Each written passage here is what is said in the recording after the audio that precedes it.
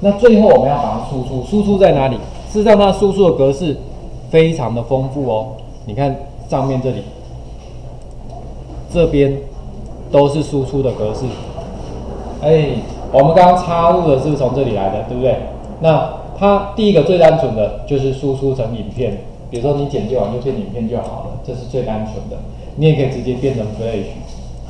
好，那当然你说变成什么 PowerPoint 啊、Word 啊，那个其实我想不太需要了，除非您是要做简报用的，就再重新把它拿出来变简报。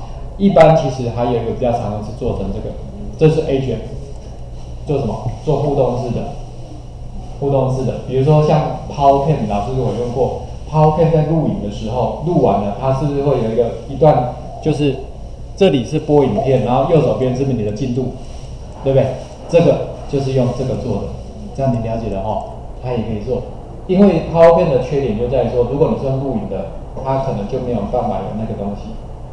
它主要是针对简报，简简报部分才会产生这个。可是我们这边就很随性了，你喜欢用抛波就是那个影 Power 的画面，还是用影片当做是你一个那个内容都没有关系，它都可以做哈。那我们现在呢就很单纯的先从输出这个影片，你看输出按一下，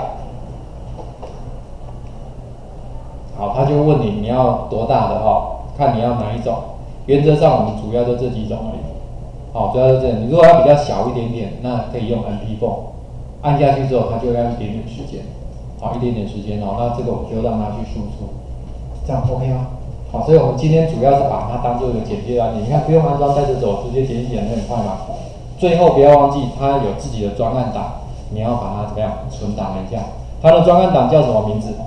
好长哦，比较。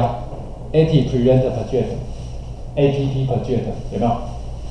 这个好，所以你只要把资料整理好，那万一下次有需要的时候，你还是可以重新把专案调出来重新简介。你如果说有错的话，哈，